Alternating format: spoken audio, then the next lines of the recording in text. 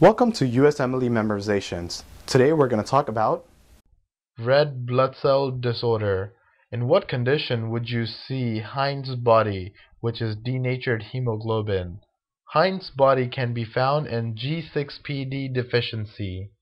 In what condition would you see Howell-Jolly body under a microscope? Howell-Jolly body, which are the nuclear fragments, can be seen post-splenectomy. In what condition would you see basophilic stippling of RBC?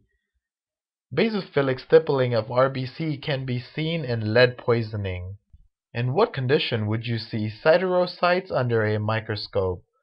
Siderocytes can be observed in conditions such as iron overload. In what condition would there be reticulocytes, which has the remains of ribosomal RNA? Reticulocytes can be seen in condition that causes an increase in the production or the release of RBCs, as well as in conditions after a hemorrhage.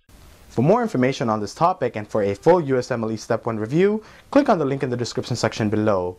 So this was a quick video in question and answer format. These short videos are to help you recall and memorize high yield facts that are commonly seen on the USMLE.